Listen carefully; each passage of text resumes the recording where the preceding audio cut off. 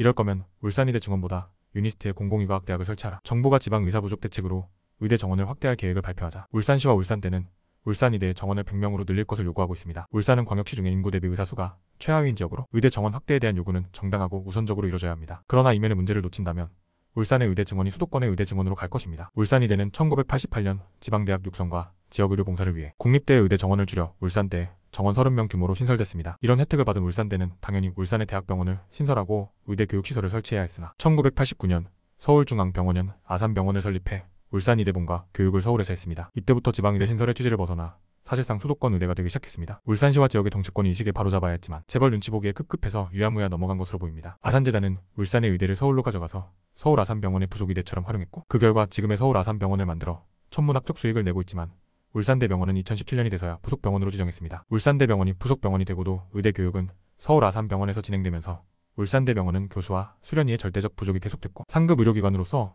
역할을 제대로 하지 못한 채 울산 시민의 건강 악화를 초래했습니다. 이런 문제를 바로잡기 위해 민선 7기 울산시광역시 미래비전위원회 전체 회의에서 울산대 의대에 완전한 환원을 의결했고 울산시의회 결의를 거쳐 교육부의 시정을 요구했습니다. 당시 과거의 관행으로 볼 때 울산대 의대의 환원은 불가능하다는 의견이 다수였지만 울산시의회 관련 시민단체 등의 지속적 활동과 울산 시민의 압도적 지지를 바탕으로 2021년에 교육부의 울산의대 환원 결정을 받아냈습니다. 교육부는 울산대가 의과대학 소재지가 아닌 서울 아산병원 시설을 임차의 미인과 학습장에서 이룬 수업을 했고 행정실에 22명의 직원이 근무하는데도 울산대 의학과에는 한 명의 직원만 근무한 사실을 확인하고서 징계 조치와 함께 시정 조치를 내렸습니다. 이쯤 되면 울산의대를 완전히 환원해야 하지만 서울 아산병원은 꼼수를 부리는 모양새입니다. 울산에 교육할 시설과 교수진을 구성하기보다 본과 2학년부터 수업을 모두 실습으로 이름 붙이고 서울 아산병원에서 기존과 똑같이 한다고 합니다. 여기에 더해 울산의대 증원의 당위성을 주장하며 서울 아산병원 병상수까지 거론하고 있습니다. 아산재단은 인천의 청라 아산병원을 개설할 예정입니다. 이런 상황을 감안하면 울산의대 증원은 수도권의 의대 증원과 다를 바 없고 이는 지방 의료 환경 개선을 위한 의대 증원이라는 정부의 목적에도 반대되는 것입니다. 울산의 의대는 중대한 기로에 서 있습니다. 교육부의 시정 명령이 있고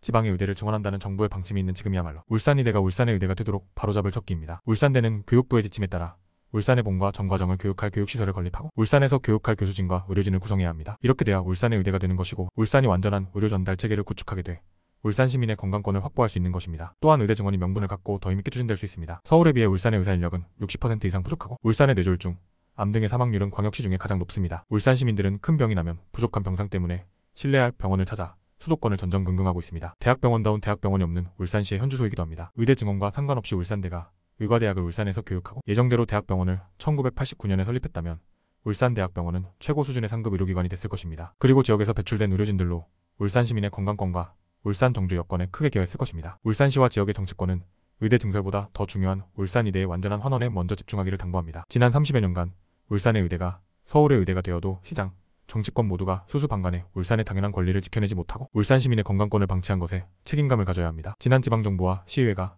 마지막으로 살려낸 교육부의 울산의대 환원 불씨를 다시 살려내야 합니다. 울산의대 완전 환원 없는 증설은 반대하는 강수를 두더라도 의대 완전 환원을 먼저 하는 것이 울산 시민을 위하는 길입니다. 만일 그래도 아산재단이 편법적 운영을 하겠다면 울산의대 증원보다는 유니스트의 공공의대와 의과학자 양성 과정을 융합한 의대 설치로 방향을 바꾸는 방법을 고려해야 합니다. 이는 지역에 적합한 공공의대 제공과 미래형 의료 인프라를 구축하는 데 훨씬 더 적합한 의과대학 설립이 될 것입니다. 안재현 논설위원이었습니다.